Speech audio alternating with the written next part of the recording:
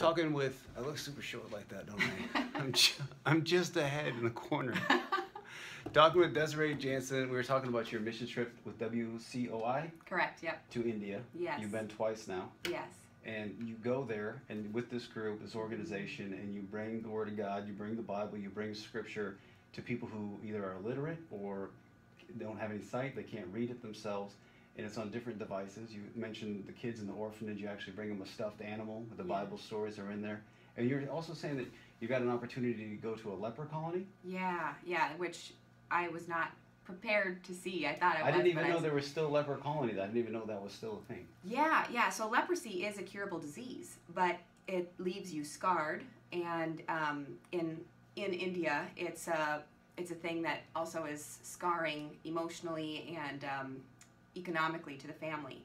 So lepers are when you have leprosy, you have to, you know, you're kind of shunned out of your family and pushed into um, a community. They find themselves a community with, a, you know, there's a special, there's a doctor um, that is involved in this community, and um, so all of the lepers that we were able to meet in just this last trip in March were totally cured of leprosy.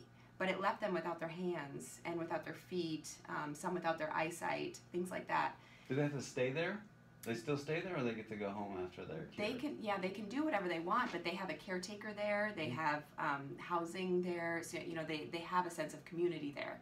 It's the most beautiful thing that um, I've ever witnessed. I, I've been watching these, you know, these people and you know pictures posted on Facebook and the website for two years, and so meeting them for the first time, I, I felt like I was meeting a celebrity. You Mhm. know, I I was so excited to meet them and and stepping out of the on the bu- of the bus that first day in in the colony um, I was just immediately, um, ju- you know, the weight of what we were about to experience hit me, and I was watching as you know one leper that had been, you know, the the, the their feet had been amputated because of the disease, um, was being led by another leper who had lost their hands. It was it was the most precious, Mhm. you know, precious moment and uh, they honored us by um, singing uh, in their native language and um, reciting Bible verses that they had memorized. It was it, it, it blew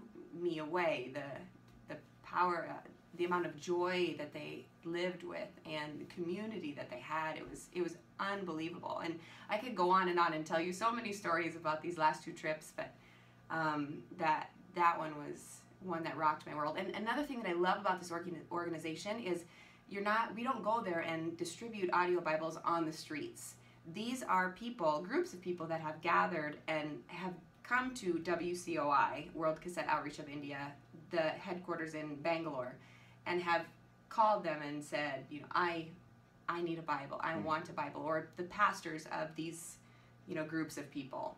So they're working hand in hand with with pastors that will continue a relationship with them, and um, they, they're eager and they, they've been wanting this for you know for a while. So And that's part of the work that you guys do while you're there is you bring them these these devices that, that read the Bible to them in their native language. So all that stuff, the the translation, like all, all those all those things, all the different parts of this all cost money. Obviously, like the the, the technology, the, the working part. So uh, one way that folks could help out is obviously you can always you can always give monetary money and, and that kind of stuff. But what about is there an opportunity for other people to go on mission trips like this? Yes, yeah. So if you if um, if anybody has any interest in going to India and seeing the work firsthand, or just talking to me about how you can can partner with this ministry, um, you can find me on Facebook, Desiree, spelt just like desire. Thanks, parents, for that. um, and Jansen, J A N S E N, is my last name. Um, and you can find me on Facebook. I'd be happy to sit down and have coffee with anybody that would be interested in hearing more, more stories, or more about how to get connected. Um, but yeah, you can you can go on the trips. There's there's trips happening, you know, frequently. Um, as long as there's a group of people that we can get together, you could also financially give.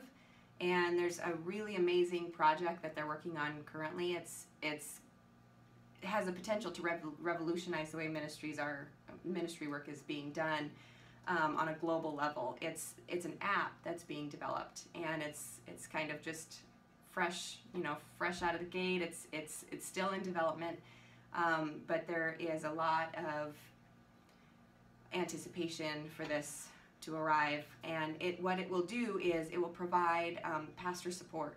So what happens is a lot of times people become Christians in you know super rural villages, and then they now know the Word of God, but there's no study that they can do. There's no interaction that they can do with other Christians. You know, so if you're trying to develop and encourage a pastor, they have very little support.